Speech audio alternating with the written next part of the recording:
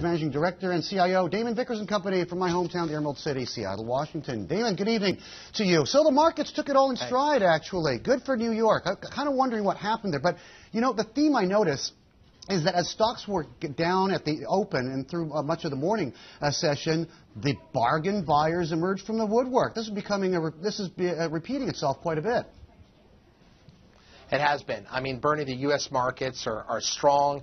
You know, in, in every interview that you and I have done together year to date, that we said the markets were going to go significantly higher. None of that has changed. Uh, we put a target at 16,200 on the Dow. Um, all of that is in place. I think we're going to hit the 16 too. And I'll even go so far as to say that over the next several years, I think we're heading up towards 22, 23,000.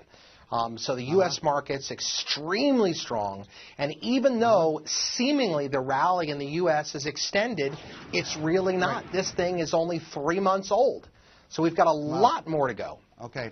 Aren't you ignoring the fact, though, that there's an increasing chorus? I mean, the fact that they're talking so much, and I, it's, it's kind of boring me to tears, but all these governors in the Federal Reserve, are ta- or presidents in the Federal Reserve, and the governors too, uh, are talking about, oh, when should we do this? When are we going to pull the plug? When are we going to dial it back? And, uh, and, and all that. And you've got, and, and in Japan, everybody's worried that this Abenomics thing could start to backfire a little bit. It's like a banana in the tailpipe. If you look at what the Japanese government bond yields are doing, might kind of derail the whole thing. Are you ignoring all these factors?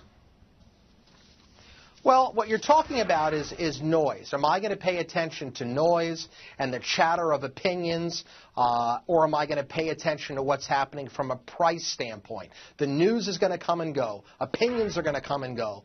Uh, but price is self-evident and the markets have emerged out of a 13-year slump, and the U.S. markets look poised continually to move significantly higher. I'll throw you one in there that no one has even begun to talk about it, but I'm going to talk about it right now, and that is the U.S. banking sector. The banks, a number of them, not all of them, because they're not all equal, but the banks are about to emerge from their ranginess, and that only tells me that the profits and the earnings of a number of key U.S. banks are likely to rise significantly over the next six months to a year, and that may provide even more further tailwind to the U.S. economy and the U.S. markets.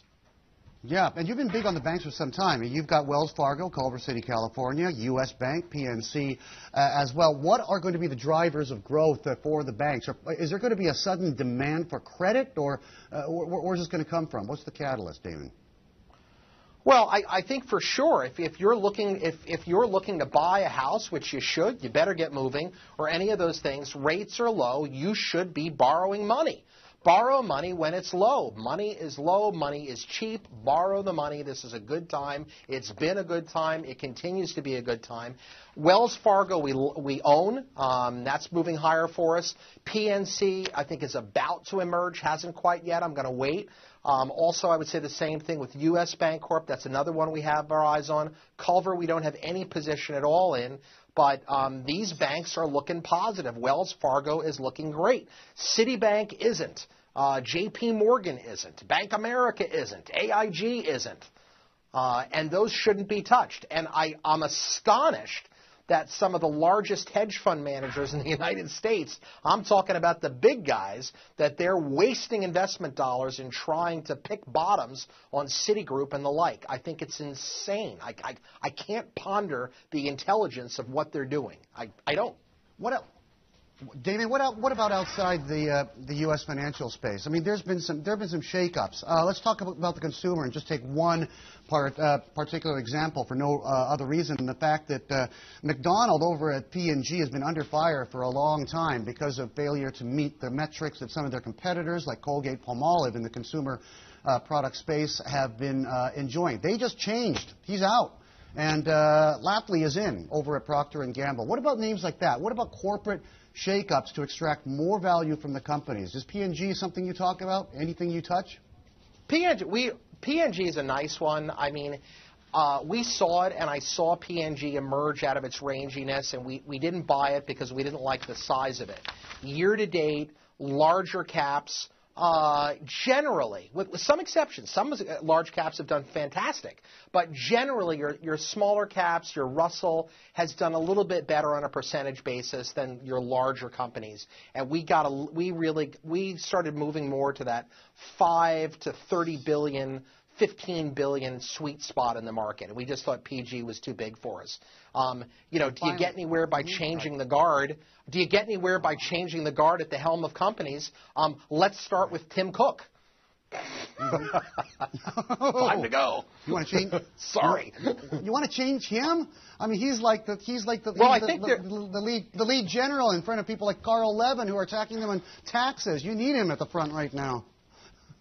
Yeah, no, I don't think there are many willing followers actually, but I do think there might be an opening over at uh, oh I don't know uh, Hewlett Packard or Dell that he might just really fit in really well over there. Uh, Apple Computer needs a genius, maybe Jonathan Ives, mm-hmm. maybe somebody, somebody who's a little crazy, and I just don't think he, he has that. Nice man, God bless him, but I don't think he has it. Hey, let's talk about what's been happening in Japan in the last 24 hours. That's a serious deal. Um, I. I like it that we're getting this rally today. Um, I don't necessarily think that the Japanese rally is over with. But we're probably going to pause in here. My guess is that pause is going to do very nicely for the U.S. markets tomorrow. We'll probably see a nice rally. Um, uh, Japan still has that history of price to deal with. You know, mm-hmm. the Japan market was in a bear market for you know 20 plus years. Can they climb out of it? And here's the biggest question than that: China mm-hmm. beginning to slow down. How do you create the never ending wave of economic growth and prosperity so that you don't enter into deflation like China is entering into now? There's the question. Yep. It's a huge juggernaut. 64 quadrillion renminbi question. Hey, Damon, I'll see you in uh, four weeks, okay? Back to the Emerald City myself. We'll hang out uh, down at uh, Ivar's or something. Damon Vickers.